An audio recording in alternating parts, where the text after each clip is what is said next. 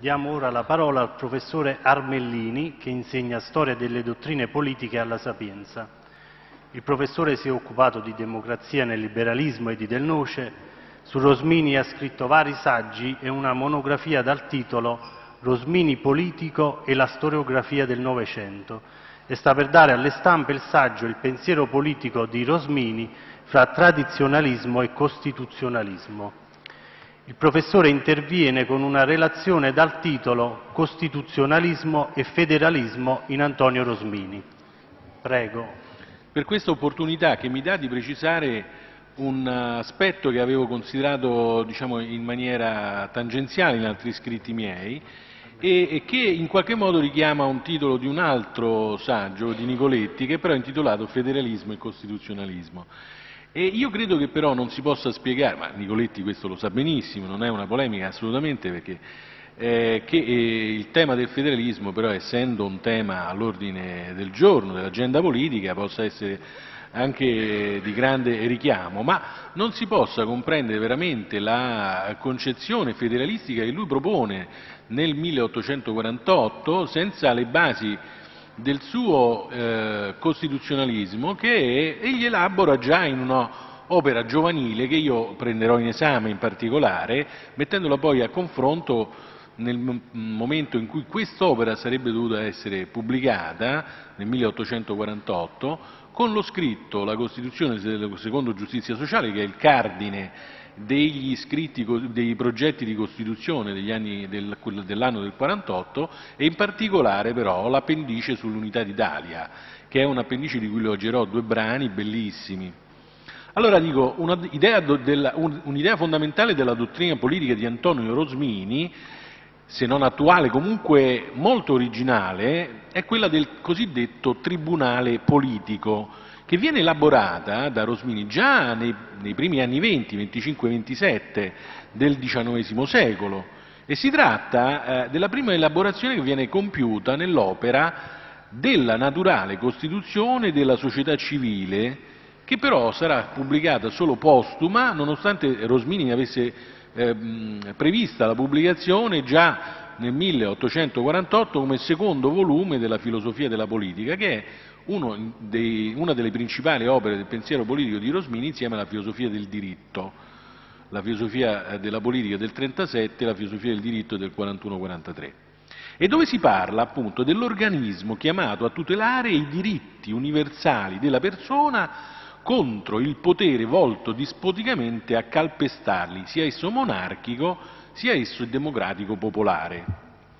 Bene, Rosmini da eh, cattolico, da eh, diciamo, servitore della Chiesa, eh, considera il cristianesimo appunto come l'evento venuto a eh, perfezionare la natura umana, elevando la sua condizione di portatore appunto dei diritti. Ma come avviene, è la domanda principale con cui parte quest'opera, ripeto, della naturale costituzione della società civile da distinguere rispetto a quella del 48, la Costituzione secondo giustizia sociale. Ebbene, avviene, come avviene la, il costituirsi naturale degli uomini in società?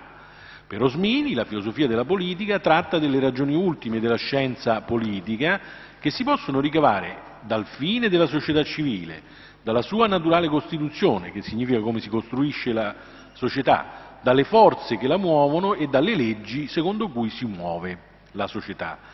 La filosofia della politica si occupa inoltre della misura del valore relativo dei mezzi politici e insegna anche a come adoperarli. La vita dell'individuo passa dal momento della singolarità al momento dell'aggregazione familiare e poi all'aggregazione sociale. Ma qual è la migliore delle società civili? Ebbene, lui dice quella che è più naturale. Dice naturale è all'uomo essere ragionevole, quindi naturale deve dirsi quella società di uomini che è costituita secondo ragione. L'uomo è anche però un essere sensitivo e soggiace agli istinti, quindi occorre che nella vita sociale eh, l'uomo segua istinti bene ordinati e dice in un altro passo, la società umana è adunque naturale quando è bene ordinata secondo quello che esige la natura degli umani istinti, quand'ella ordina convenientemente le cose esterne che gli suscitano. Pertanto una, ripeto ancora una frase di Rosmini, una società civile costituita secondo le esigenze della pura ragione e secondo quello degli umani istinti, quindi tenete conto che l'uomo è sia ragione che istinto, è, è fondata nella natura delle cose è, e perciò acconciamente dicesi naturale. Il linguaggio di Rosmini è un po' ottocentesco, quindi comprendete un po' il suo eh, periodare. Eh, ricorrere alla ragione significa pensare la vita secondo giustizia, Ricorrere agli istinti significa tendere a soddisfare le proprie esigenze, ma secondo un ordine regolare, al fine di non sacrificare le esigenze di nessuna persona della società. Quindi, come vedete, la società naturale, per essere eh, pensata secondo ragione, deve essere giusta e regolare. Non c'è per Rosmini solo la giustizia sociale, ma esiste anteriormente anche una giustizia che riguarda i diritti individuali. L'istinto e la ragione infatti sono negli uomini naturali in quanto individualmente pensati, cioè pensati anteriormente rispetto alla stessa società, oppure perché pensati in rapporto a società diverse rispetto alla società civile che sono appunto quella familiare e quella religiosa. Quindi l'uomo nasce sempre all'interno di alcune relazioni fondamentali, sono in primis quella teocratica con Dio, quindi ogni uomo non può essere soggetto a nessun potere perché è soggetto solo a Dio. E poi la società familiare che è quella in cui è la prima naturale in cui viene accolto, quindi la società civile è diciamo sussidiaria, è strumentale rispetto a queste che sono società naturali.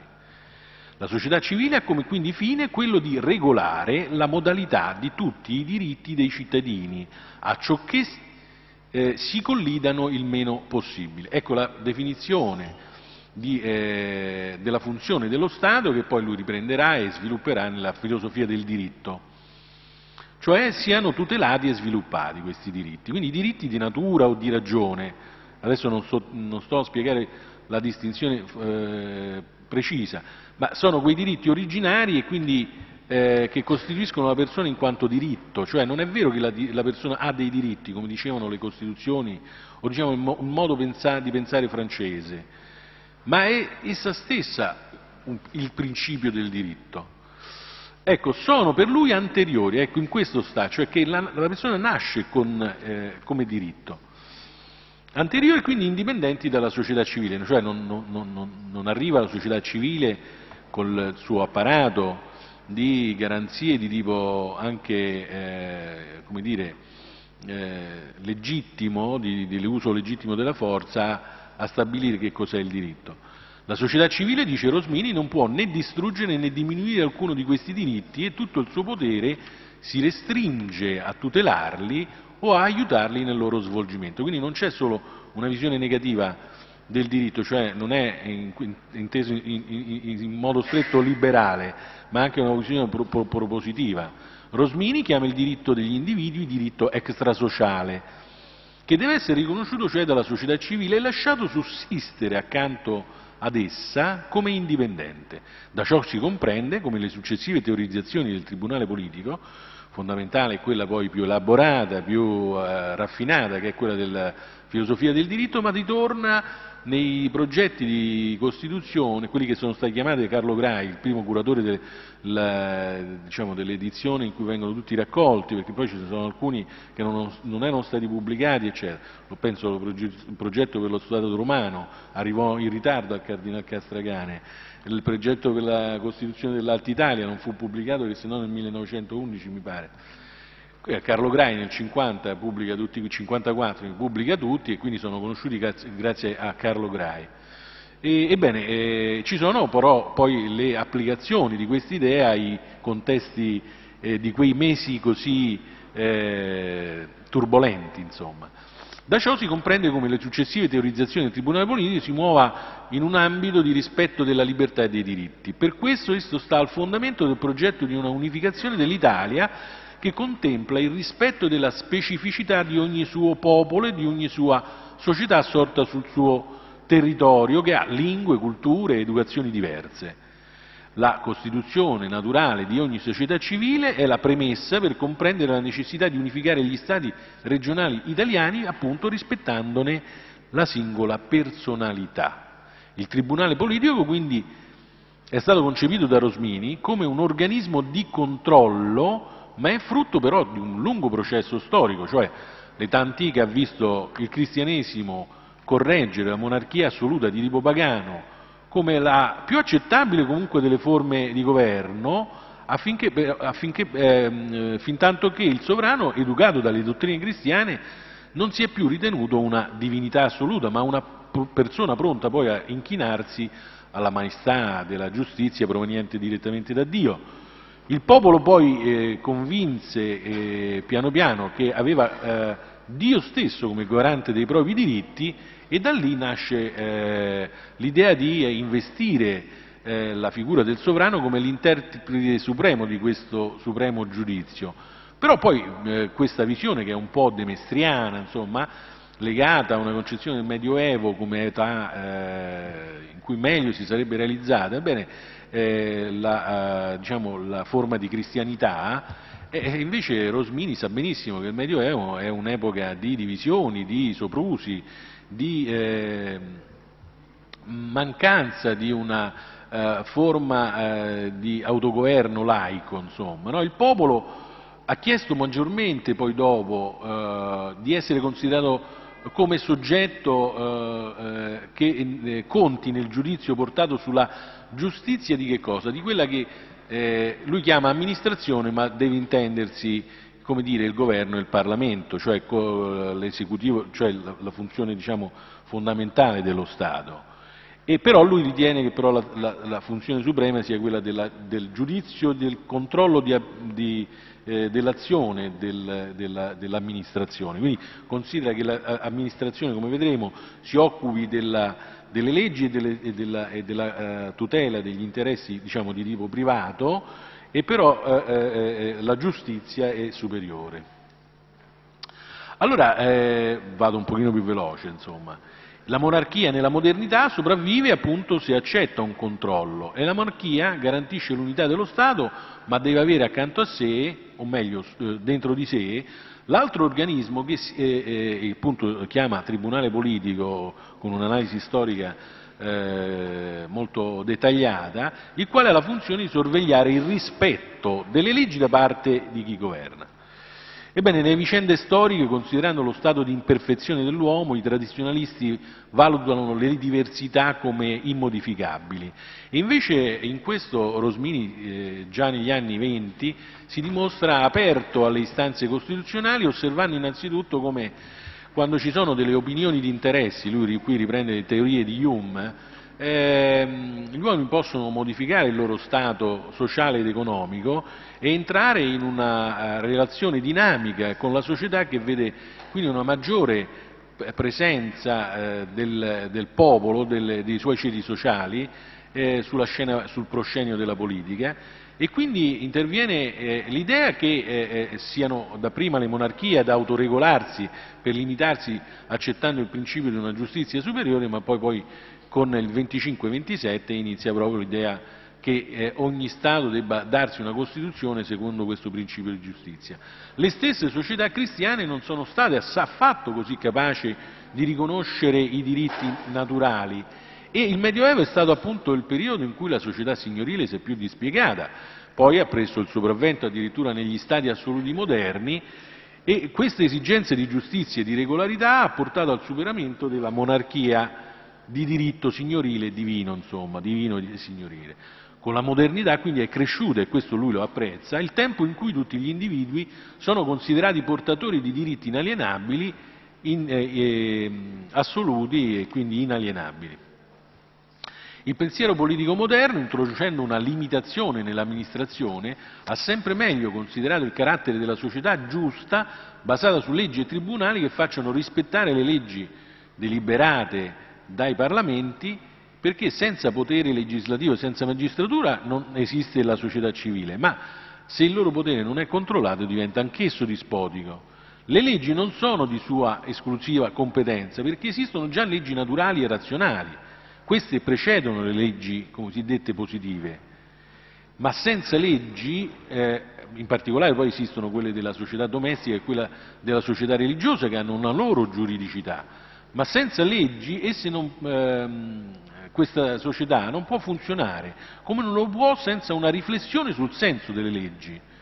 Quindi le leggi le fanno i, i parlamenti, i governi insieme, poi eh, nel periodo in cui stiamo parlando c'è una compartecipazione all'attività legislativa in molti stati liberali, ma eh, in particolare manca negli stati liberali dell'Ottocento la riflessione sul senso, sul senso del, eh, del, modo di applicare queste leggi, sia quelle naturali appunto che quelle create dalla società civile, volte cioè a regolare i rapporti tra le persone.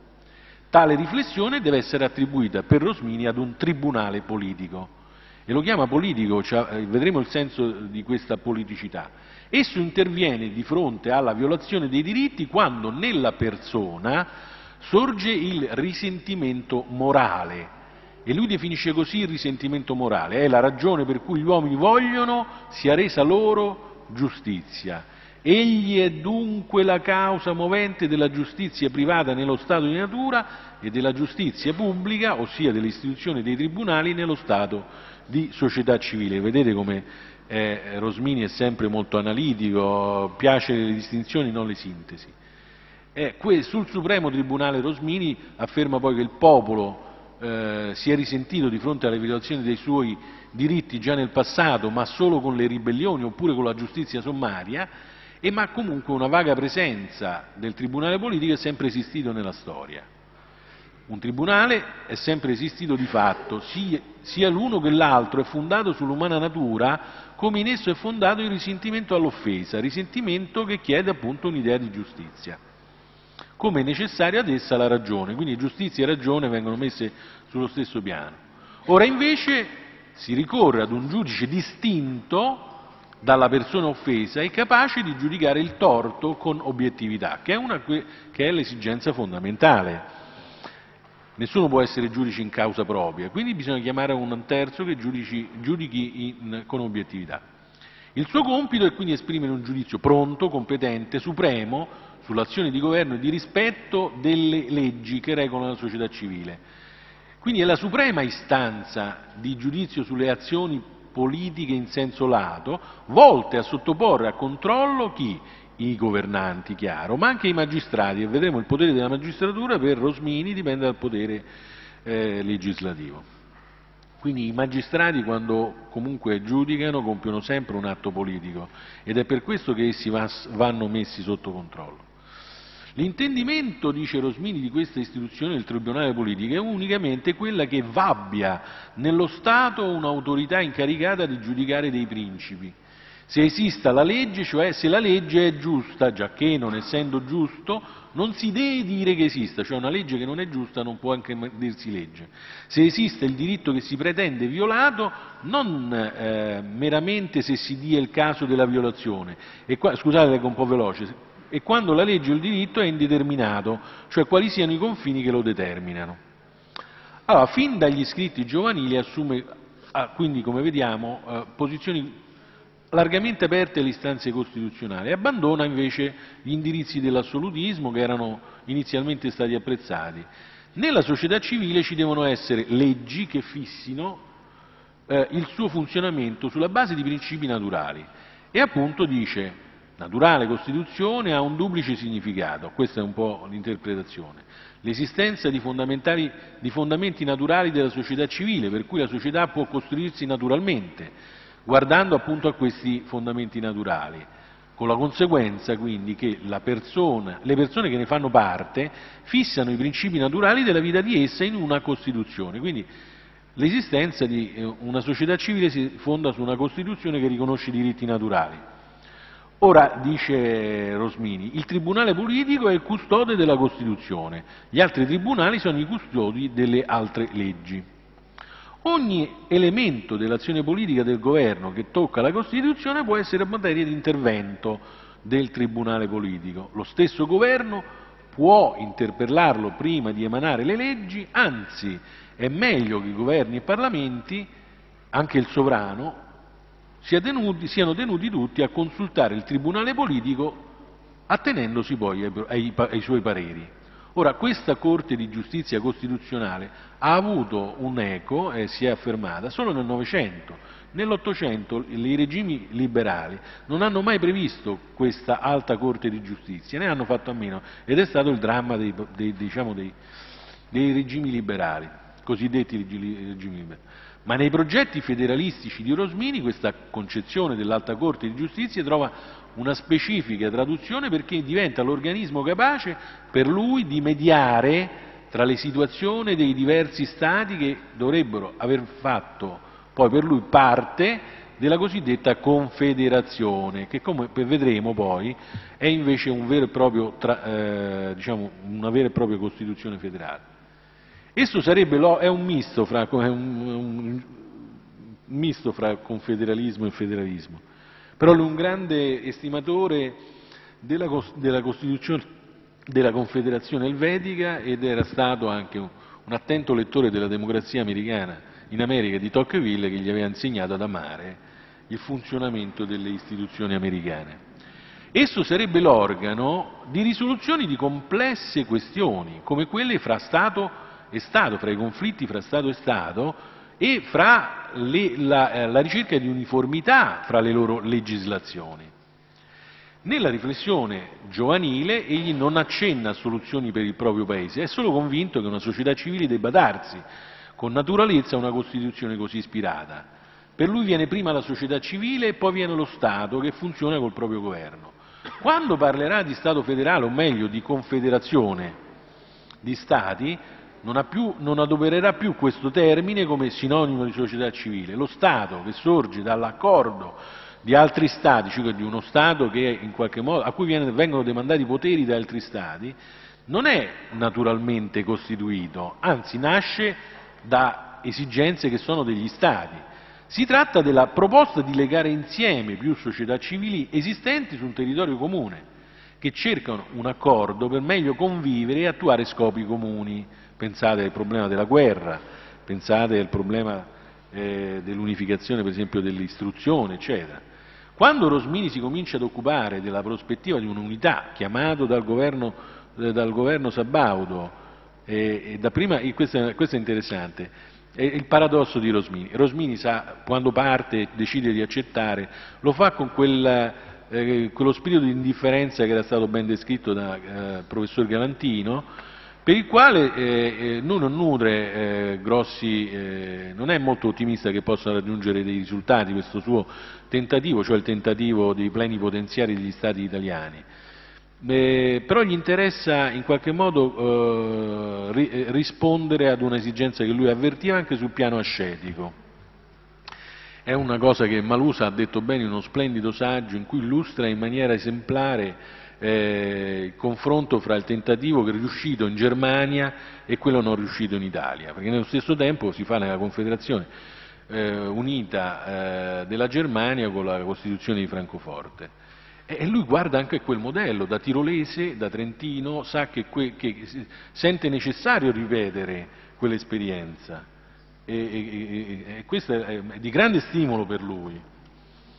Eh, allora, eh, quando Rosmini si comincia ad occupare di questa prospettiva di unità per gli Stati italiani, finisce per trasferire allo Stato federale molte delle caratteristiche che naturalmente invece manifestava una forma di eh, società civile che deve governare e, eh, ehm, e quindi pur non essendo naturale questo Stato federale avrebbe dovuto eh, tener conto di un, uh, un, principio che avrebbe dovuto giudicare gli accordi fra gli Stati e questo viene ritrovato appunto nella elezione a suffragio universale maschile di un tribunale politico. Poi nei momenti in cui tratta con gli Stati, allo Stato romano dice beh sarebbe meglio il concistoro, poi proponendo il modello guelfo ma in una maniera atipica e anomala eh, di affidare alla presidenza, onoraria diciamo della, Confederazione italiana al eh, pontefice, propone anche lì che eh,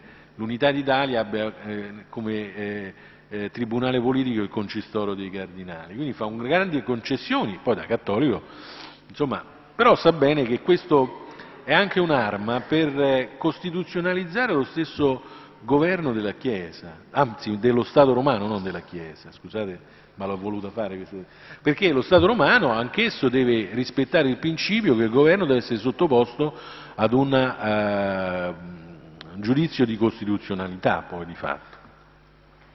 E per distinguere nello stesso Stato romano un governo che possa partecipare alla, alla dieta dell'Unione federale, diciamo così, e lasciar sì che la sua funzione spirituale possa continuare ad essere sul piano diplomatico considerata talmente autorevole da superare i confini delle etnie, delle nazionalità, eccetera, eccetera. Quindi parlare, continuare a parlare a tutti i popoli, anche a quel popolo con cui i, popoli, eh, diciamo, il popolo italiano stava combattendo, l'Austria.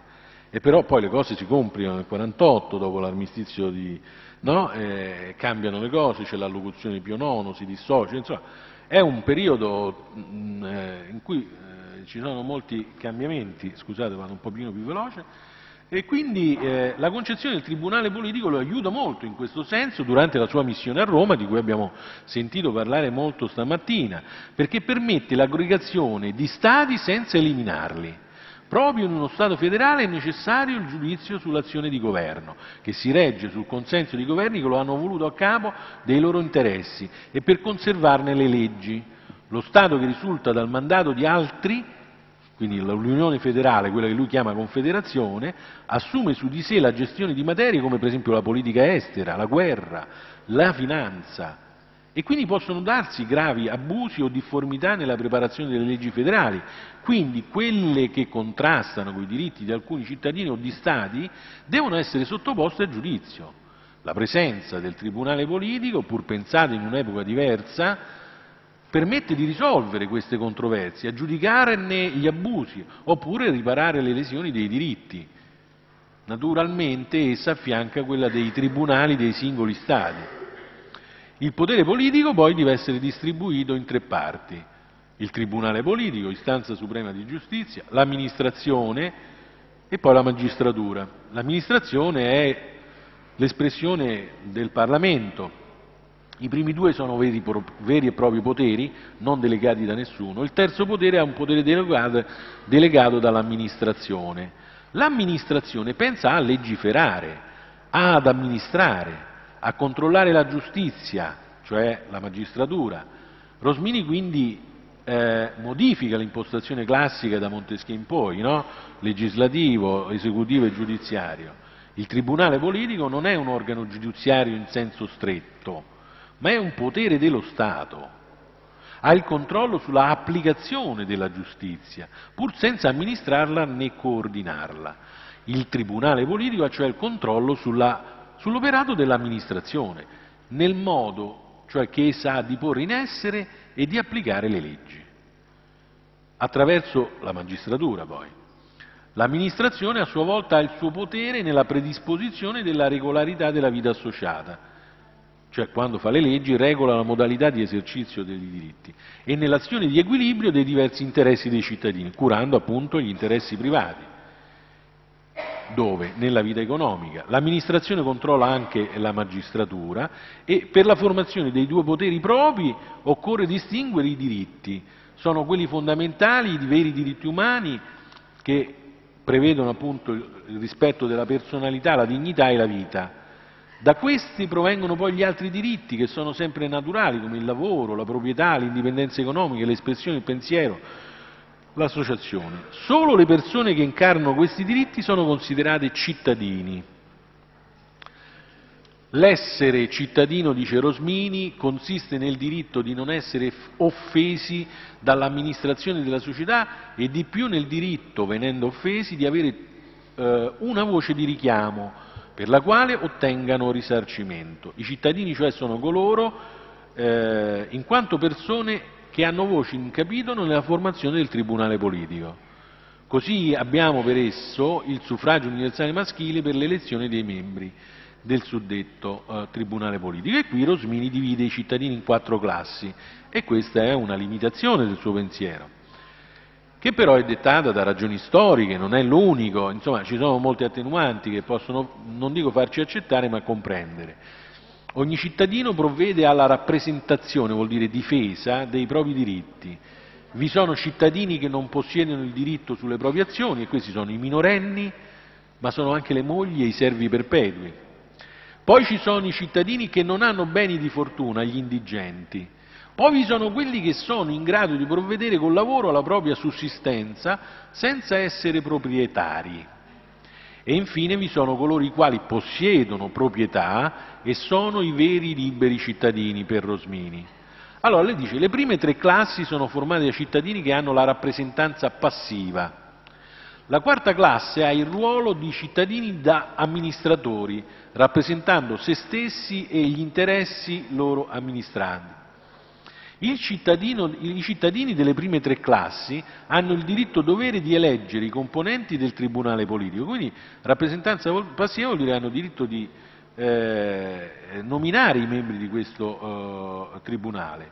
I cittadini della quarta classe a questo dovere diritto aggiungono quello di poter eleggere i propri rappresentanti dove? Nel Parlamento che cura gli interessi, cioè che si prende cura dell'amministrazione dello Stato. Quindi c'è un, un altro potere, no? A questo potere soltanto coloro che hanno un reddito e una proprietà. Il punto importante è che però, eh, questo riconosce Rosmini, i cittadini nell'atto di entrare nella società civile conservano i loro diritti in quanto persone, che sono in esso così più agevolmente difese. Ecco, io passerei più velocemente invece magari all'illustrazione del suo tentativo eh, eh, del federalismo, eh, attraverso soprattutto che cosa? Direi soprattutto la, eh, eh, la, eh, la cosiddetta appendice alla Costituzione secondo giustizia sociale che era scritto sull'unità d'Italia allora, nello scritto sull'unità d'Italia, lui scrive anche uno, una Costituzione, abbiamo detto, per lo Stato romano, eh, dove anche lì pensa il Tribunale politico essere da affidare al Concistoro dei Cardinali, ma pensa anche eh, come eh, diciamo, una garanzia alla protezione anche dei confini naturali dell'Italia, eh, una Costituzione per l'Alta Italia, dove vede la possibilità di, eh, dire, allearsi il Lombardo-Veneto allo Stato Sabaudo eh, in funzione. E questo fa, sono tutti progetti che di fatto falliscono, però è interessante la originalità. ovviamente queste cose della Costituzione secondo giustizia sociale vanno a riprendere le tesi del Tribunale politico eh, che stavano nella, eh, naturale Costituzione della società civile, e cioè la distinzione fra una rappresentanza degli interessi e una rappresentanza della giustizia. Bene, le linee dell'assetto federale per l'Italia viene presentata da Rosmini nello scritto eh, sull'unità d'Italia. Le poche pagine dell'appendice sono ispirate ad un vivo senso di realismo. La Confederazione deve nascere dal desiderio di superare la frammentazione politica italiana che lui lamenta con toni machiavelliani, eh? tenendo però conto della realtà esistente. Quindi da riforma politica alla realtà sociale in movimento non è opera di dottrinari, di ideologi, lui rifugge da questi tentativi, eh, che disegnano, perché il loro errore è utopico? Perché disegnano a tavolino l'architettura costituzionale di un paese eh, eh, creando come Dio crea la materia da lavorare, mentre invece lui c'è una pagina bellissima, dice noi troviamo il materiale già fatto, già dato, possiamo solo modellarlo tentando di applicare al dato di fatto un dato di diritto, cioè la giustizia. Ebbene, eh, occorre rispettare la storia, lui è, un, è profondo, eh, eh, come abbiamo visto, no? attento, studioso degli, della dinamica della storia. Al termine della Costituzione, secondo giustizia sociale fa l'elogio della tradizione inglese rispetto alla Costituzione alla francese, perché fa riferimento a quel diritto non solo posto dalla volontà di un legislatore, ma a quel diritto iscritto nella natura umana, ma anche nelle consuetudini che tramandano un che cosa? Quel non luogo mai visto dell'origine delle Costituzioni, penso a Barche, eh, che però poi permette di guardare alla Costituzione reale come un qualcosa che non può essere fissato come una fotografia di un dato momento, ma che permette la trasmissione dei valori della tradizione alle generazioni future. La Costituzione federale deve partire dal riconoscimento dei diritti esistenti. Realismo in Rosmini non significa pragmatismo, ma appunto rispetto del reale, ma in nome della giustizia e la giustizia vieta di idolatrare la realtà.